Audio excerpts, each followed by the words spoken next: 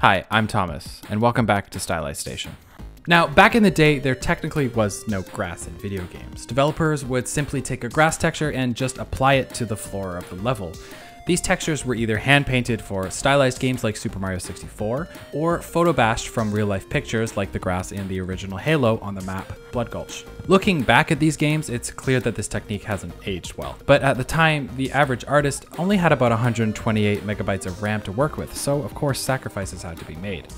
On the plus side, this technique was great for performance, as your GPU would only have to render a single texture image. But no matter what we do, using a simple flat plane will always just look flat. Sure, artists are able to fake a little bit of detail using normal maps to catch the light and give the grass texture some more depth, but that doesn't really solve the main issue.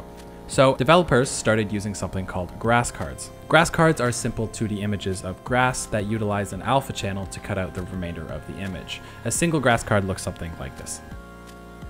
But placing rows of cards in front of the player doesn't exactly look convincing. And placing the card as a sprite so that it always faces the camera also looks like shit.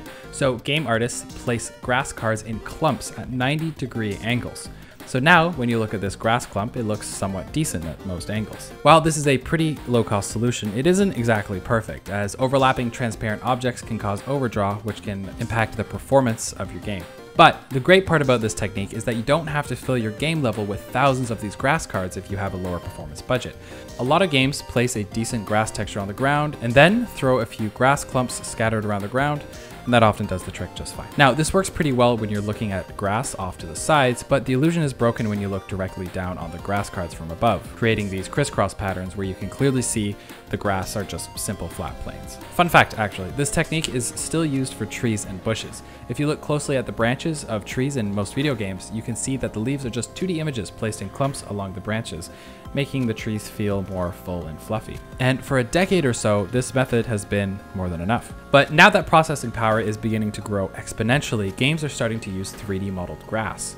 By modeling a few simple blades of grass, artists can group these blades of grass together into varied clumps that differ in size and shape. Then we can paint these clumps across the landscape randomly to create very interesting shapes and silhouettes. For large open worlds, it would take ages to manually paint these blades of grass into your game, so developers are able to create procedural systems that do the majority of the heavy lifting for them placing specific types of grass in their correct biomes, or creating color variation in each blade of grass to add a bit of variety. Now, this can still be graphically intensive, especially in large open worlds, so developers can also swap out the 3D modeled grass for grass cards at a distance, which creates the popping in of grass that you see in games like Breath of Wild Genshin Impact, and other open world games. This grass technology is getting pushed further and further every day, with studios like Sucker Punch rendering their fields in Ghost of Tsushima by generating individual blades of grass on the GPU that could each have their own procedural appearances and animation. So yeah, that's it. Have a nice day.